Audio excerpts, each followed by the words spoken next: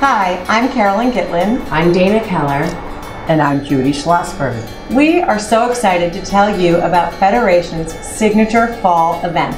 Hineni, Living Joyously in Uncertain Times, an evening of voices and visions with Dr. Ruth, will take place on September 24th at the Emanuel Synagogue in West Hartford. Hineni means here I am in Hebrew. And here we will be at this community event that is unlike any other.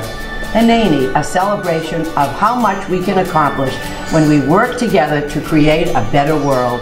We'll hear Dr. Ruth's amazing personal story from surviving Nazi Germany to serving in the Haganah in Israel and launching her famous career in America. We'll learn how we can continue to grow strong partnerships and ensure a brighter future for our community.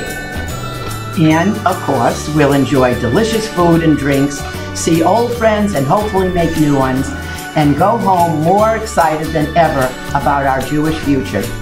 You'll find all the details at bit.ly slash Hineni 2020 RSVP. That's Hineni on September 24th. We can't, can't wait, wait to see you there. there.